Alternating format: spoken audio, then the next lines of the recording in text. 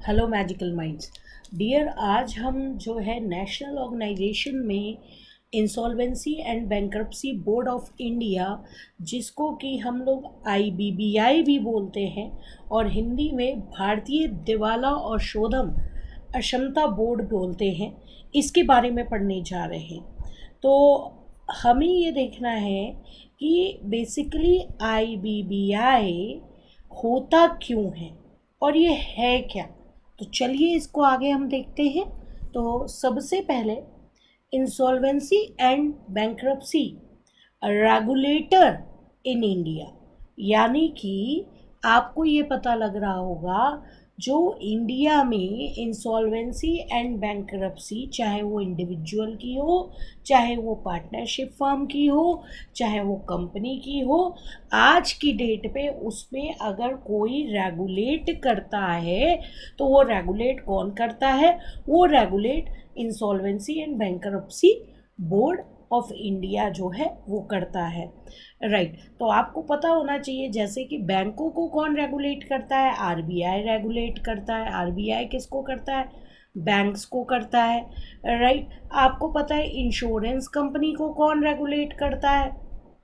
Insurance companies को I R D A insurance regulatory development authority जो है regulate करती है। ठीक है?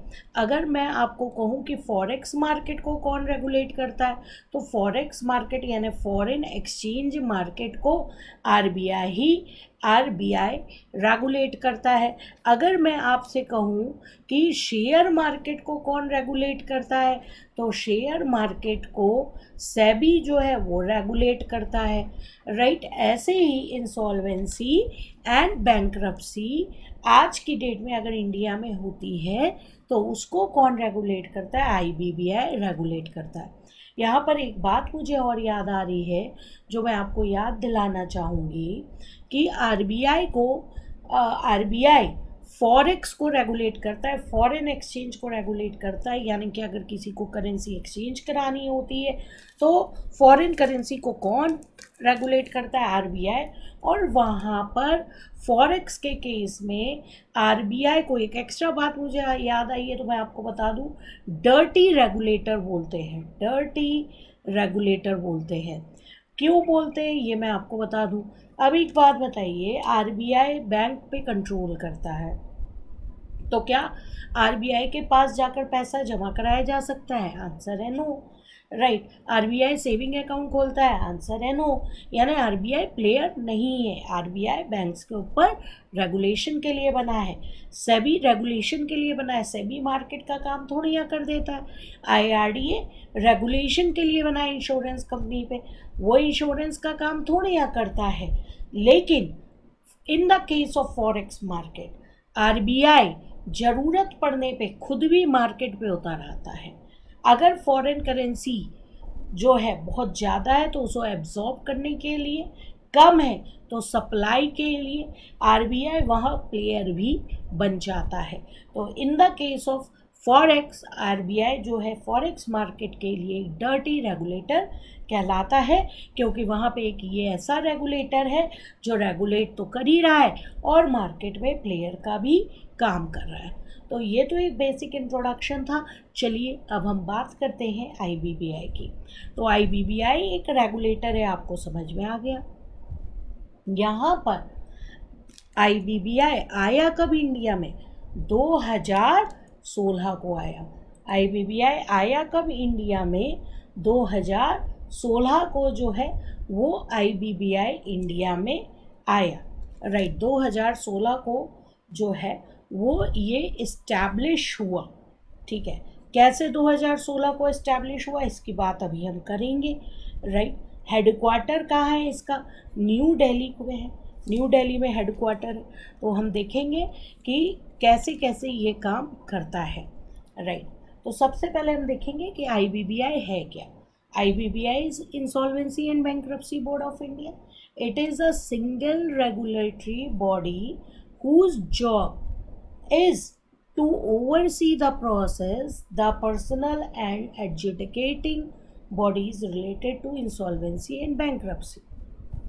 Dear इसके पहले एक चीज़ मैं आपको बताना चाहूँगी 2016 में एक इंडिया में एक नया एक्ट आया जिसको हम बोलते हैं I B C insolvency and bankruptcy code insolvency and bankruptcy code 2016 जब आया तो इसी में आपका आईबीबीआई की बात कही गई और यहीं से ये रेगुलेटर बना। तो सबसे पहले हमको ये पता होना चाहिए कि इंसॉल्वेंसी एंड बैंक्रप्सी कोड है क्या। डियर होता क्या था कि इंडिया में कोई भी कंपनी बिज़नेस करने आई, उसने बिज़नेस किया। अब आपको अच्छे से पता है, कोई ज़रूरी तो है नहीं कि बिज़नेस सक्सेसफुल हो।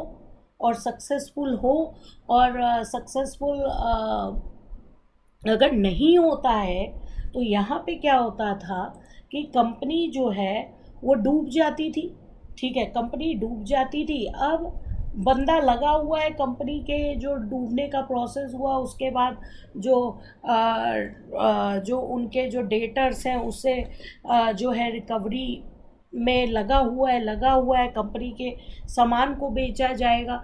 ठीक है, सामान को बेचने के बाद जो पैसा आएगा, उससे क्रेडिटर्स का पेमेंट किया जाएगा। तो इन सब में लग जाते थे बहुत साल। अब किंगफिशर की बात लीजिए 2009 में वो जो है इंसॉल्वेंट बैंक डिसाइड हुई और जो है उसको 2015 जो है लग गया। 2015 जो है पूरा प्रोसेस होते होते जो है 2015 लग गया। तो आप खुद सोचिए कि कितना ज़्यादा टाइम कंज्यूमिंग होता था। अब आज की डेट में क्या फॉरेन कंपनी इंडिया में आएगी ऐसे में बिज़नेस करने, जहाँ पे इतना लंबा प्रोसेस हो, जहाँ पे इतना टाइम जो है लगे कि हाँ भैया बस किए जा रहे हैं किए जा रहे हैं किए जा रहे हैं बिज़नेस किए जा रहे हैं। मतलब कि यहाँ आया कंपनी ने बिज़नेस इस्टेब्लिश किया आइडिया नहीं चला तो आ, ये नहीं कि दूसरे आइडिया पे स्विच करें बिज़नेस बंद करें दूसरे आइडिया पे स्विच करें। उसी में लगे हुए हैं भैया भैया लगे हुए हैं किस लिए? कि कंपनी को वाइंडिंग अप कराना है। कंपनी इंसॉल्वेंट हो गई है तो पाँच पाँच छः छः साल मुकदमा चल रहा है और हो रहा है। तो India ease of doing business में बहुत पीछे था। Ease of doing business index of world bank ये मैं आपके साथ ऑलरेडी डिस्कस कर चुकी हूँ। और मैंने आपको बताया है कि पिछले कुछ सालों में इंडिया जो है नीचे रैंक से जो है काफ़ी ऊपर चढ़ा है। तो उसका रीज़न यही सब कोड है। तो यहाँ पर जो है, एन, पहले क्या होता था? एन और डीआरटी में केस ही चलता रहता था।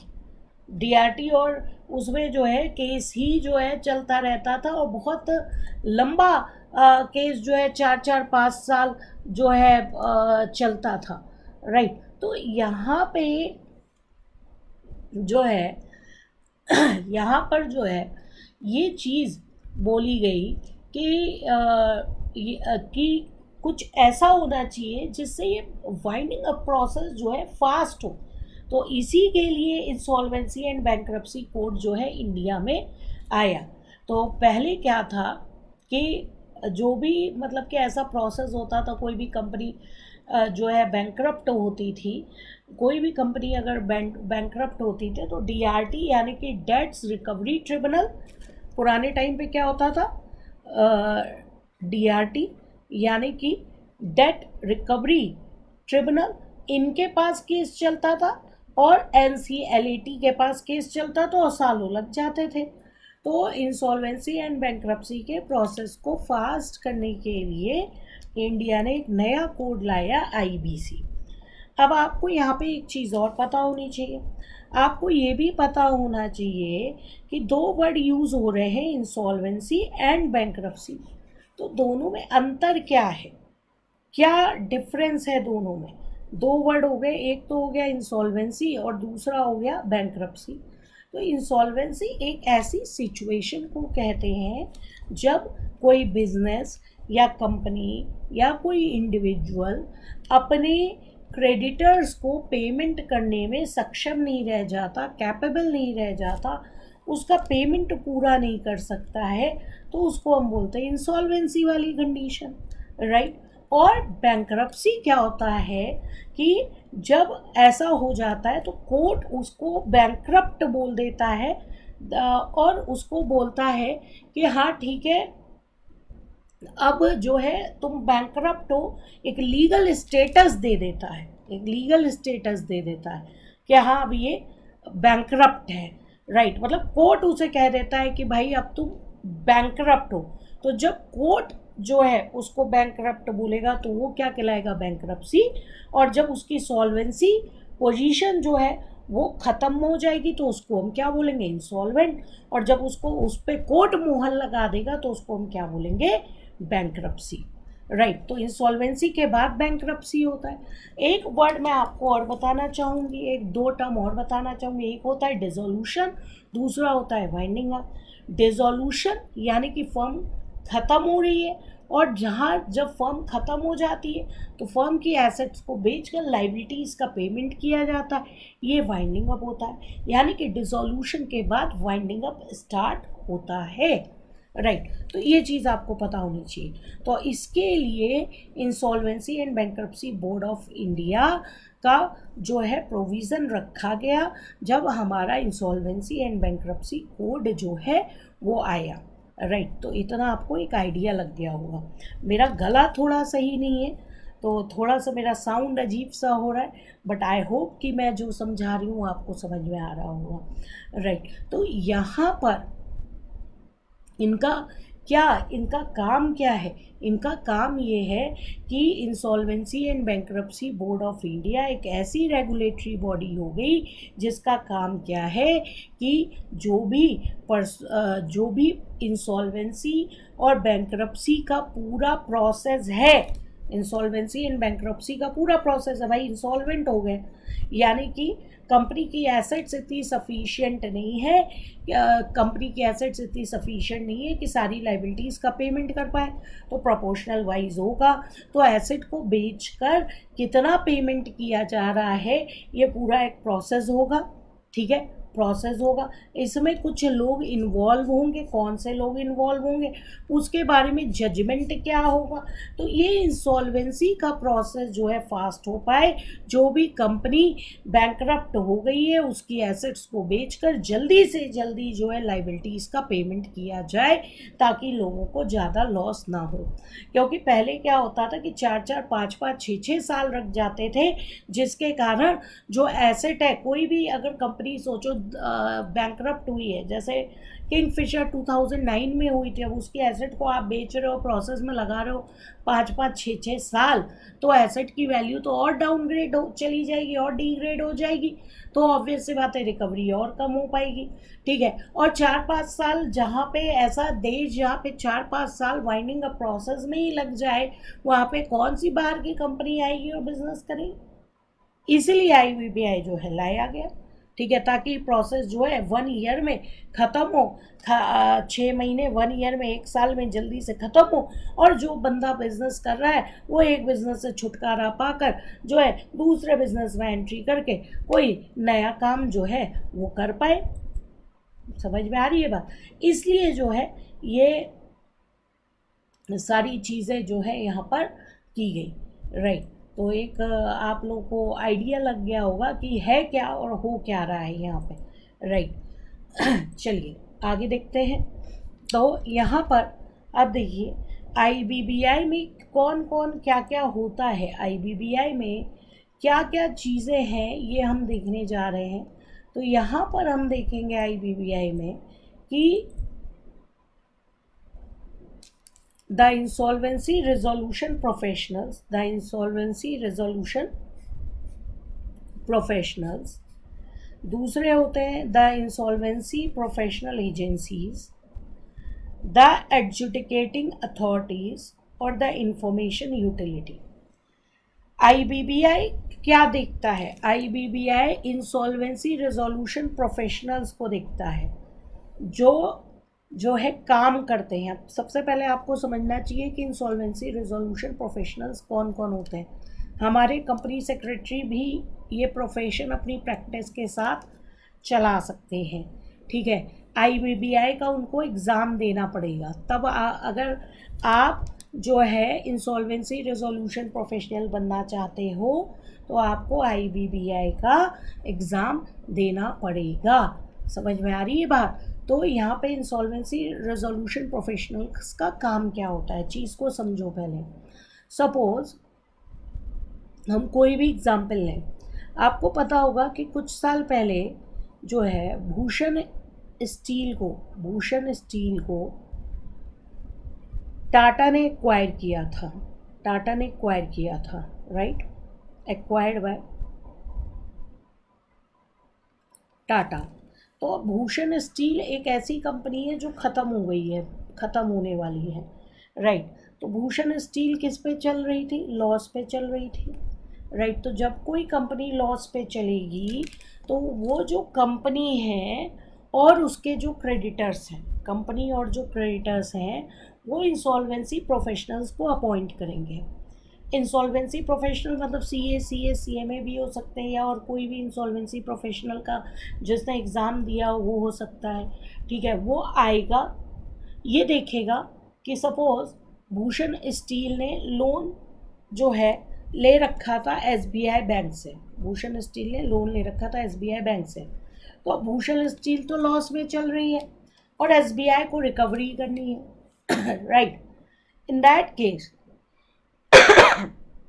excuse me in that case जो है एस बी आई को भूषण स्टील से रिकवरी करनी है अपने लोन की तो एस बी आई के पास कोलेट्रल सिक्योरिटी के तौर पे कुछ एसेट होगी। राइट तो पहले पुराने टाइम पे अगर ये चीज़ होती तो क्या होता? पुराने टाइम पे अगर ये चीज़ होती तो ये होता कि एस बी आई को जाके डी आर टी और N C L A T के सामने केस चलाना पड़ता। फिर वो अपना जो है एसेट का रिकवरी कर पाते। कोलेट्रल सिक्योरिटी को बेच के जो रिकवरी होती है, वो जनरली बहुत कम ही होती है राइट तो यहाँ पे क्या होगा, अगर हम पुराना वाला प्रोसेस भूल जाएँ और आई बी बी आई की बात करें तो इन दैट केस क्या होगा कि ये इंसॉल्वेंसी प्रोफेशनल्स को जो है अपॉइंट करेंगे। इंसॉल्वेंसी प्रोफेशनल आएगा। इंसॉल्वेंसी प्रोफेशनल ये देखेगा कि किस लोन के अगेंस्ट कौन सी एसेट है उसको रिकॉग्नाइज करेगा, जाके देखेगा कि सपोज़ लोन के लोन की सिक्योरिटी पे तौर पे बिल्डिंग का कोलेट्रल था, जाके बिल्डिंग को देखेगा, असली में है कि नहीं है कहाँ है चेक करेगा वेरीफाई करेगा, क्या वैल्यूएशन है, उसको बेचकर कितना मिलेगा, ठीक है? और एसेट बिकवा कर जो है लोन की रिकवरी करवा देगा। ये काम है इंसॉल्वेंसी रेजोल्यूशन प्रोफेशनल का। पहला चीज़ तो ये हो सकता है। दूसरा रास्ता ये हो सकता है कि इंसॉल्वेंसी रेजोल्यूशन प्रोफेशनल्स कुछ आइडियाज़ दे, कुछ चीज़ें बताए, कुछ प्रोसेस बताए, जिससे कि भूषण स्टील का बिज़नेस फिर से चल पड़े।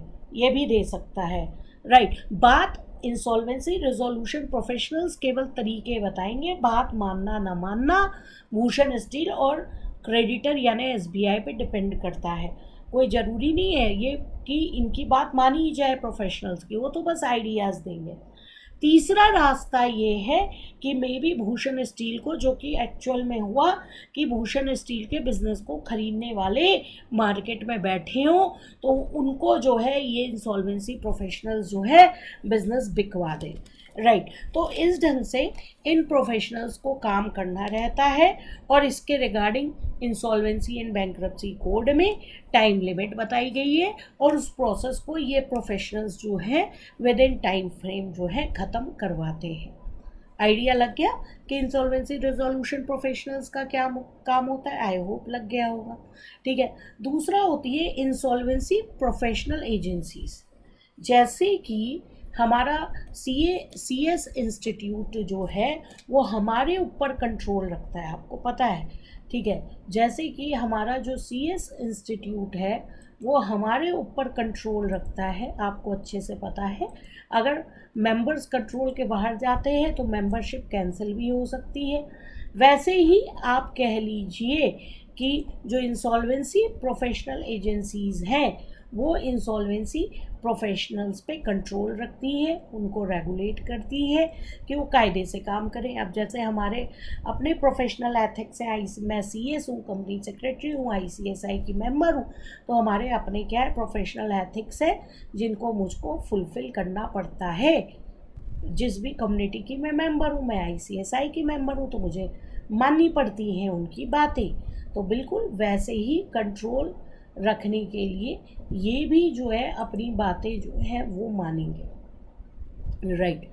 तो ये जो चीज़ है तो यहाँ पे जो इंसॉल्वेंसी प्रोफेशनल एजेंसीज हैं, वो इंसॉल्वेंसी रेजोल्यूशन प्रोफेशनल्स के प्रोफेशनल एथिक्स के रिगार्डिंग उनको क्या करती है गवर्न करती है। राइट एडजुटिकेटिंग अथॉरिटीज़ अगर कुछ भी मतलब कि डिस्प्यूट होता है, कुछ प्रॉब्लम आती है तो एडजुटिकेटिंग अथॉरिटीज़ यहाँ पे काम करेंगी और इसके बाद इंफॉर्मेशन यूटिलिटी यानी कि जो भी इंफॉर्मेशन है, जो भी नॉलेज चाहिए, वो सारा आपको I B B I insolvency board of insolvency and bankruptcy board of India जो है, वो प्रोवाइड करेगा राइट right? आगे देखते हैं इंसॉल्वेंसी प्रोफेशनल्स का आपको आइडिया लग गया तो यहाँ पे इंसॉल्वेंसी प्रोफेशनल्स मैंने आपको बताया था कि पहले आपको एग्ज़ाम देना पड़ता है आईबीबीआई का, फिर आप आईबीबीआई में अपना रजिस्ट्रेशन करा पाते हो राइट इसके पहले उनको जो है इंसॉल्वेंसी एजेंसी में अपना एनरोलमेंट करवाना पड़ता है right are involve in the dissolution process of an insolvent individual देखिए इंसॉल्वेंट इंडिविजुअल का इंसॉल्वेंसी कंपनीज़ एलएलपी पार्टनरशिप इन सारी चीज़ों का इंसॉल्वेंसी ये देखते हैं। तो यहाँ पर जो प्रोफेशनल्स हैं, वो ऑथराइज होते हैं कि वो इंसॉल्वेंट इंडिविजुअल कंपनीज़ की ओर से काम करेंगे। यही चीज़ मैंने आपको बताया था, विभूषण स्टील का मैंने आपको एग्ज़ाम्पल समझा दिया था, ठीक है? इंसॉल्वेंसी प्रोफेशनल पूरा जो एक लिक्विड वाइंडिंग अप का जो पूरा प्रोसेस होता है लिक्विडेशन का पूरा प्रोसेस होता है कि एसेट को बिकवाना, उसके थ्रू पेमेंट करवाना, ये सारा प्रोसेस जो है ये प्रोफेशनल्स करवाते हैं राइट चलिए। इंसॉल्वेंसी प्रोफेशनल एजेंसीज कौन कौन सी है, ये अभी मैं आपको दिखा दूँगी। मैंने ये इसका मतलब आपको बता ही दिया था, ठीक है? फ़ंक्शंस क्या है एजेंसीज का? एजेंसीज का फ़ंक्शन अगर हम इंसॉल्वेंसी कोड के सेक्शन 204 के अकॉर्डिंग देखें तो insolvency professional agencies as the primary functions of granting membership जो इंसॉल्वेंसी प्रोफेशनल्स के जो मेंबरशिप है, वो जो है इंसॉल्वेंसी प्रोफेशनल एजेंसीज जो हैं, देंगी। ये प्रोफेशनल कंडक्ट जो प्रोफेशनल एथिक्स की मैं बात कर रही थी स्टैंडर्ड जो है वो करेंगे। जैसे हम सी वालों का स्टैंडर्ड जो है आईसीएसआई जो है डिसाइड करता है तो यहाँ पे भी वो ही करेंगे। मेंबर्स के राइट्स और प्रिविलेजेस क्या होंगे? सेफ़ क्या होंगे? They also inquire members grievances अगर मेंबर्स के कोई भी ग्रीवियांस है तो उनको ये रिजॉल्व करेंगे और कंटिन्यूसली मेंबर्स की प्रैक्टिस को वॉच करे करते रहेंगे। अगर कोई गलती, अब जैसे वकीलों के ऊपर बार काउंसिल कंट्रोल रखता है तो इंसॉल्वेंसी प्रोफेशनल्स के ऊपर इंसॉल्वेंसी प्रोफेशनल्स एजेंसीज जो है कंट्रोल रखती हैं। ठीक है? अगर किसी को इंसॉल्वेंसी प्रोफेशनल बनना है सपोज़ आप इंसॉल्वेंसी प्रोफेशनल बनना चाहते हो इंसॉल्वेंसी प्रोफेशन में जाना चाहते हो तो क्या क्या होना चाहिए? इंडियन रेसिडेंट होना चाहिए, अट्ठारह साल की एज होनी चाहिए साउंड माइंड का होना चाहिए सॉल्वेंट होना चाहिए, ठीक है? इसके अलावा क्वालिफिकेशन होनी चाहिए। अब जैसे सी एस है तो सी एस प्लस दस साल का अगर प्रैक्टिसिंग एक्सपीरियंस है, ठीक है? कोई ग्रेजुएट है तो ग्रेजुएट के साथ पंद्रह साल का मैनेजरल एक्सपीरियंस है, उसके बाद आप एग्ज़ाम दे सकते हैं। Right right. तो आप इंसॉल्वेंसी प्रोफेशनल बन सकते हैं। इसके अलावा, कभी भी जो भी पर्सन इंसॉल्वेंसी प्रोफेशनल बनने जा रहा हो, उसको कभी भी अपराधी ना घोषित किया गया हो किसी भी कोर्ट या लॉ के तहत, ठीक है? और छः महीने से ज़्यादा की सज़ा ना मिली हो उसको, या कभी भी उसने moral turpitude and a period of five years जो है। Period of and a period of five years has not gone from the date of expiry of the sentence right तो ऐसे लोग जो हैं, वो आपके इंसॉल्वेंसी प्रोफेशनल नहीं बन सकते हैं। वही बनेगा जिसको कभी अपराधी ना घोषित किया हो, जिसको छः महीने से ज़्यादा की सज़ा ना मिली हो, जिसने कोई मॉरल ट्रेपिट्यूड ना किया हो राइट तो उसके ऊपर कोई इल्ज़ाम नहीं होना चाहिए। And a period of five years has not gone from the date of expiry of sentence ठीक है? तो यहाँ पे आपको ये चीज़ ध्यान में रखनी है। राइट तो अगर आप इंसॉल्वेंसी प्रोफेशनल बनना चाहते हो, उसका कोर्स करना चाहते हो, इसके आगे क्या लिख रहे हैं? कि सबसे पहले एप्लीकेंट को, ये तो सिंपल एक्सपीरियंस है क्वालिफिकेशन लिखा है कि सबसे पहले आपको इंसॉल्वेंसी प्रोफेशनल एजेंसी में रजिस्टर्ड करवाना पड़ेगा। जैसे हम कंपनी सेक्रेटरी हैं तो हम लोग को आईसीएसआई में ऑलरेडी हमारा रजिस्ट्रेशन रहता है। उसके बाद हमको एग्ज़ाम देना पड़ता है नेशनल इंसॉल्वेंसी एग्ज़ाम जो कि आई करवाता है राइट right. उसके बाद हमें आई की मेंबरशिप जो है मिल जाती है। तो ये सिंपल आपको कह रहे हैं, ये चीज़ आप जो है आईबीबीआई की साइट पे भी जाकर देख सकते हैं, अभी मैं आपको दिखा दूँगी। The structure of I B B I या आप कह लो बोर्ड ऑफ़ डायरेक्टर्स में कौन कौन रहता है तो यहाँ पे दस मेंबर रहते हैं। दस मेंबर आपको याद रखना है। आई बी बी आई में रहते हैं, एक चेयरमैन रहेगा, एक मेंबर रहेगा जिसको आर बी आई नॉमिनेट करेगा, तीन मेंबर रहेंगे जिसको सेंट्रल गवर्नमेंट नॉमिनेट करेगी, ठीक है? Three members of central government रहेंगे और three members of five members of nominated by central government रहेंगे। ठीक है टोटल दस लोग होते हैं, एक मेन चेयरमैन हो गया one member nominated by RBI आपके three members of central government और five members of nominated by central government तो ये आपका स्ट्रक्चर है। कौन कौन आईबीबीआई की सहायता ले सकता है? कौन कौन ये मैंने आपको पहले ही बता दिया एलएलपी हो पार्टनरशिप फॉर्म हो इंडिविजुअल और कंपनीज़ हो, इन सब का इंसॉल्वेंसी एंड बैंक्रप्सी जो है आईबीबीआई देख सकता है। तो इंसॉल्वेंसी एंड बैंक्रप्सी लॉ को बहुत आसान बना देना इंसॉल्वेंसी रिजोल्यूशन प्रोसेस जो है उसको फास्ट कर देना और डिफरेंट एडजुडिकेटिंग मतलब जो पहले बहुत लंबा लीगल प्रोसेस चलता था, उसको शॉर्ट कर देना, ये हमारा आई का जो है काम है। तो who can apply for solvency for insolvency under I B C तो यहाँ पे कौन कौन अप्लाई कर सकता है? कोई भी इंसॉल्वेंट बिज़नेस है, उसके financial creditors operational creditors and corporate debtors can file for insolvency ये क्वेश्चन आ सकता है। Who is the chairman of I B B I the current chairperson of I B B I is doctor M S Sahu right एक बार मैं आपको दिखा भी देती हूँ।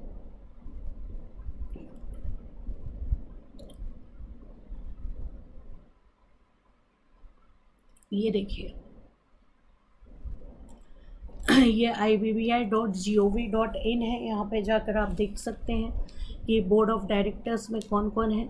ये आपको दिख रहा है डॉक्टर एम एस साहू, ठीक है? गवर्निंग बोर्ड में दस लोग होते हैं। इसके बाद आपको थ्री होल टाइम मेंबर्स दिख रहे हैं। फोर एक्स ऑफिसियो मेंबर्स जो हैं, वो आपको दिख रहे हैं। उसके बाद आपको टू जो है पार्ट टाइम मेंबर्स दिख रहे हैं। तो टोटल टेन मेंबर्स हैं राइट तो ये आपको एक आइडिया लग गया होगा।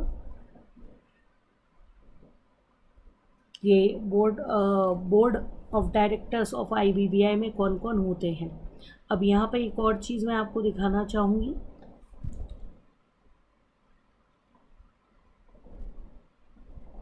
इंसॉल्वेंसी प्रोफेशनल एजेंसीज देखिए कौन कौन सी हैं।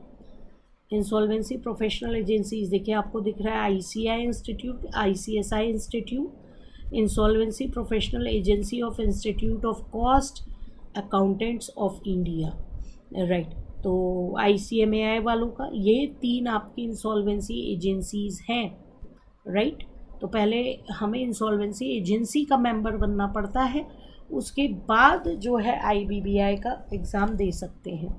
इसका भी आपको एक आइडिया लग गया कि कौन है यहाँ पर एजेंसीज़ हम किसको कह रहे हैं? इंफॉर्मेशन यूटिलिटीज़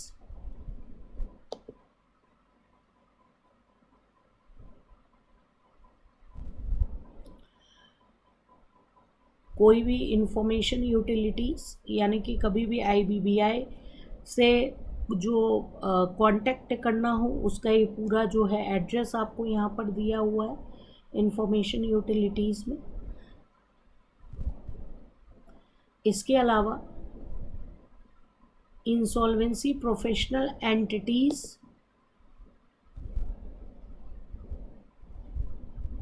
ये देखिए इंसॉल्वेंसी प्रोफेशनल एंटिटीज़ का यहाँ पे आइडिया दिया हुआ है। जो फर्म्स हैं, जो इंसॉल्वेंसी प्रोफेशनल्स की जो फर्म्स हैं, जैसे हमारी सी ए सी एस की फर्म्स होती है, वैसे इंसॉल्वेंसी प्रोफेशनल्स की जो फर्म्स हैं, जो रजिस्टर्ड हैं आई बी बी आई के साथ, उन फर्म्स का एड्रेस यहाँ पर दिया हुआ है। यानी कि कोई भी इंसॉल्वेंट कंपनी इंडिविजुअल पार्टनरशिप इन फर्म से प्रोफेशनल सर्विसेज़ ले सकता है। राइट? तो ये पूरा यहाँ पे दिया हुआ है। तो एक आइडिया लग गया होगा आपको आईबीबीआई के बारे में। इसके अलावा आप यहाँ पे देखेंगे आ, कि यहाँ सर्विस प्रोवाइडर में registered valuer organisations registered valuer और ये भी आपका है। तो रजिस्टर्ड वैल्यूअर का कोर्स भी जो है वो आई करवाता है। आईबीबीआई का एग्ज़ाम हमको देना होता है अगर किसी को रजिस्टर्ड वैल्यूअर बनना है। क्योंकि जब भी एसेट को बेचने की बात होती है तो सबसे पहले बेचने से पहले उसका वैल्यूएशन होता है। चाहे वो शेयर हो फाइनेंशियल एसेट हो, चाहे बिल्डिंग हो, चाहे मशीनरी हो। तो वैल्यूए जो वैल्यूएशन है, वो कौन करता है? वैल्यूअर करता है। रजिस्टर्ड वैल्यूअर करता है और रजिस्टर्ड वैल्यूअर बनने के लिए वही पर्सन रजिस्टर्ड वैल्यूअर कहलाता है, जिसने आईबीबीआई का रजिस्टर्ड वैल्यूअर का एग्ज़ाम दिया हो। तो ये वेरियस इंस्टीट्यूट हैं जो ये ट्रेनिंग करवाते हैं। आईसीएसआई भी उसमें से है आईसीआई भी है, जो रजिस्टर्ड वैल्यूअर की पहले ट्रेनिंग करवाता है। उसके बाद हमको आईबीबीआई का एग्ज़ाम देना होता है। उसके बाद हमको आईबीबीआई की मेंबरशिप मिलती है रजिस्टर्ड वैल्यूअर बनने के लिए। आपके आईसीएसआई में रजिस्टर्ड वैल्यूअर का जो कोर्स होता है और उसकी जो ट्रेनिंग होती है, उसमें मैं भी लेक्चर्स जो है प्रोवाइड करती हूँ। और मैं भी वहाँ पे लेक्चर्स जो है देती हूँ पर्टिकुलर टॉपिक्स पे। तो और काफ़ी अच्छा कोर्स है तो आप यहाँ पे एक आपको आईबीबीआई के बारे में पढ़ते हुए एक आइडिया लग रहा होगा कि आईबीबीआई में हम जो है इंसॉल्वेंसी प्रोफेशनल का भी कोर्स कर सकते हैं, अगर करियर की मैं बात करूँ, और रजिस्टर्ड वैल्यूअर का भी जो है वो कोर्स कर सकते हैं राइट चलिए पीपीटी पे आते हैं वापस। तो यहाँ पे आप देख रहे हैं लेटेस्ट क्या है? लेटेस्ट ये है कि अप्रैल 2021 में आईबीबीआई ने एक pre packaged insolvency resolution process जो है इसके रिगार्डिंग जो रेगुलेशन है वो नोटिफाई किया है और इसमें जो है pre packaged insolvency resolution process for corporate debtors corporate debtors कैसे कॉरपोरेट डेटर्स जो एमएसएमई सेक्टर के कॉरपोरेट डेटर्स हैं, उनकी बात की जा रही है। और इस रूल में ये बोला गया है कि जो भी रिजोल्यूशन प्रोफेशनल्स हैं, वो इंडिपेंडेंट होने चाहिए। यानी कि कहीं से भी जो चाहे रिजोल्यूशन प्रोफेशनल्स हो, उनके पार्टनर्स या डायरेक्टर्स जो भी मतलब फर्म जो सर्विस प्रोवाइड कर रही है, जो इंसॉल्वेंसी प्रोफेशनल्स की जो फर्म है, वो इंडिपेंडेंट होनी चाहिए। कहीं से भी दूर दूर तक जो डेटर है, उससे रिलेटेड नहीं होनी चाहिए। तो ये आईबीबीआई का लेटेस्ट न्यूज़ जो है, वो आया हुआ है राइट तो आई होप कि आपको इतनी चीज़ें समझ में आ गई होंगी। आज मेरा गला ख़राब था, लेकिन आई होप कि आपको ये चीज़ें समझ में आ रही होंगी। Thank you dear